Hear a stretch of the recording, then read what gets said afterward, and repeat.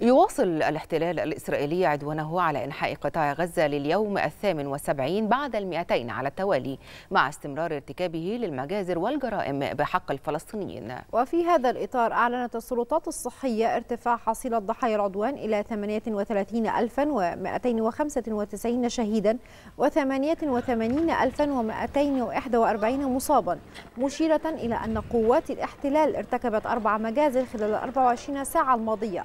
راح ضحيتها 52 شهيدا و208 مصابين.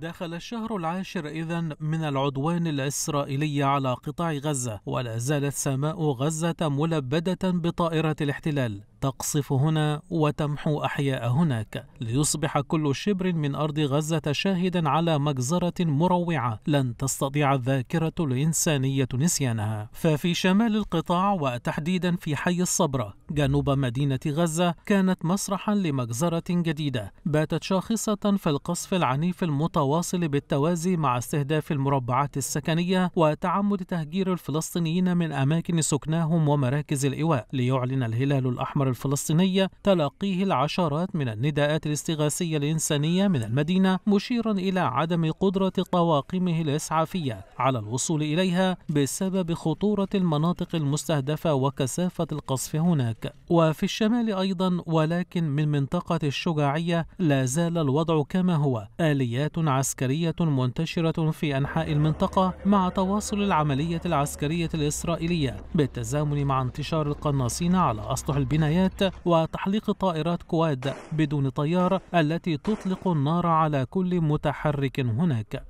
ومن الشمال إلى الوسط الوضع لم يتغير كثيرا. ففي منطقتي المغراق والزهراء شمال مخيم النصيرات وفي جنوب غرب دير البلح نسفت قوات الاحتلال مباني سكنية على رؤوس ساكنيها بينما أطلقت آليات الاحتلال النار على الآمنين في الشوارع. وفي جنوب القطاع المأزوم تتواصل العملية العسكرية الإسرائيلية في مدينة رفح الفلسطينية بالتزامن مع كثافة نيرانية من مدفعية الاحتلال وغطاء من الغارات الجوية على مناطق متفرقة لتأتي تلك التطورات بعد ساعات من مجزرة مروعة ارتكبتها قوات الاحتلال بمحيط مدرسة في عبسان الكبيرة شرق خان يونس مما أسفر عن استشهاد وإصابة العشرات وفقد الكثير تحت أنقاض ما تبقى من البنايات. عدوان لم يتوقف يوما ولم يتوقف معه هدير المدافع وزخات الرصاص التي ترهب صغير الغزيين قبل كبيرهم